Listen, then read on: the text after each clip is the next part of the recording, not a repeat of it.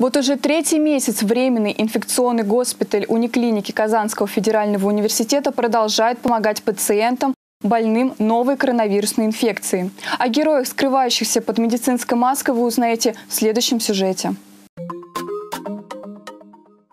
Заведующий временным инфекционным госпиталем университетской клиники Казанского федерального университета Тимур Сибгатулин никогда не сомневался в правильности выбора своей профессии. Уже с самого раннего детства он мечтал стать врачом, чтобы помогать больных с их недугами. Еще и когда в садик ходил, там были различные игры, связанные э, с медициной.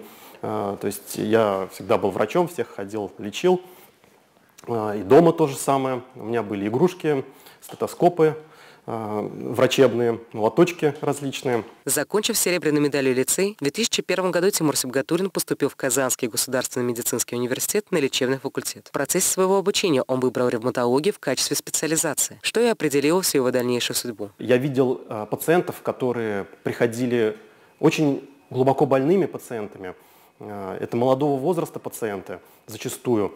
И после проводимого курса лечения им становилось значительно легче, они практически ну, в, среди, э, в хронических заболеваниях не принято говорить, выздоравливали, но они уходили в ремиссию, то есть они чувствовали себя здоровыми людьми и продолжали свою активную деятельность, и поэтому э, стать ревматологом э, мне по зову сердца просто было необходимо, я сделал себе в, такую внутреннюю установку. В 2020 году в связи с распространением пандемии COVID-19 терапевтическое отделение отделения ревматологии, заведующим которого был Сибгатулин, было преобразовано во временный инфекционный госпиталь. Его руководителем стал Тимур Булатович. В обязанности заведующего временным инфекционным госпиталем э, входит непосредственное проведение ежедневных обходов э, пациентов, которые э, проходят лечение в нашем временном инфекционном госпитале.